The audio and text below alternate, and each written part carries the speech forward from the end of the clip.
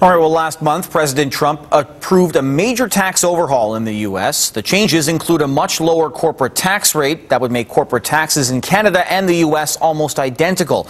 Analysts say the effects here could be good or bad. It should boost the U.S. economy, which could help Canadian exports, but it may also see a lot of investment dollars going south. Joining us this morning is Aaron Wudrick of the Canadian Taxpayers Federation. Aaron, thank you for taking the time this morning. Thanks for having me, Adam. So, Aaron, overall, what do you think the effect on Canada will be? You know, it's hard to say, but I think the important point is that our policymakers, both at the federal and provincial level, need to start thinking about how they're going to respond. Uh, it's not an understatement to say this tax, tax package in the, in the United States is a very large package. 80% uh, of Americans are going to see an income tax cut, and it's the single largest business tax cut in American history, um, dramatically cutting their business taxes. So that was a competitive advantage that Canadians had for a long time. That advantage is gone now, and I think uh, our policymakers need to be thinking about what they're going to do to ensure that Canada can continue, continue to attract investment? Well, with a focus here on Saskatchewan, some of the province's most important in industries are oil, gas, and mining. So, what effect will the tax changes have on those industries here?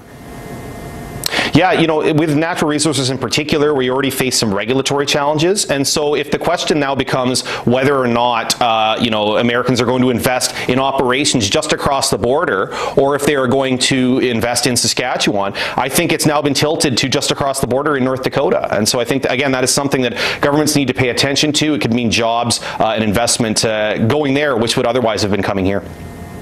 And it, could we say the same about agriculture? What are we seeing uh, in agriculture? Yeah, certainly. And just in terms of competitiveness generally, uh, you know, United States, uh, they receive a lot of subsidies on the one hand, but uh, lower taxes make it easier for them to make money and certainly makes it more attractive. If you're an investor, you can put money into a Canadian operation or an American one, uh, or more importantly, you're an American operation and you have operations in both countries. Uh, Donald Trump obviously puts a lot of political pressure on American companies to invest at home. Uh, now you add in this tax package and that, that pressure could become irresistible. So, of course, a carbon tax uh, is also in the cards now, the federal carbon tax. How does this play into all of it?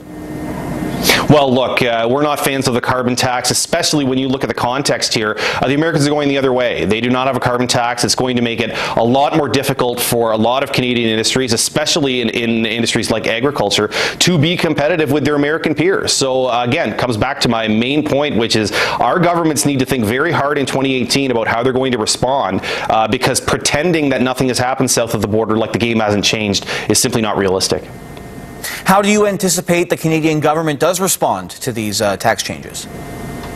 You know, it's hard to say. Uh, this government has, has uh, been a fan of raising taxes generally. They have cut a few taxes, uh, but they've also demonstrated that uh, when there is when the game changes, that they are willing to change direction. And so I certainly hope they recognize that in this case, uh, it's a new reality south of the border, uh, and we need to make sure that Canada remains competitive, or otherwise we put Canadian livelihoods and Canadian jobs at risk.